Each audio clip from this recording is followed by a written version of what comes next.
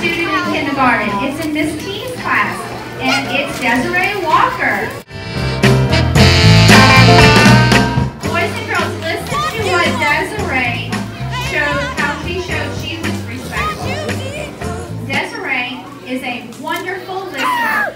She shows respect by listening to her teacher when she's speaking and listening to the, her peers when they are sharing. So what do you guys share? Is it writing time that you guys share?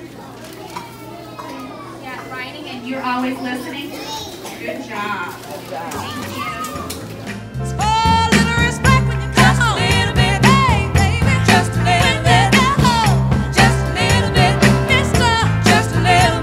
R-E-S-P-E-C-T,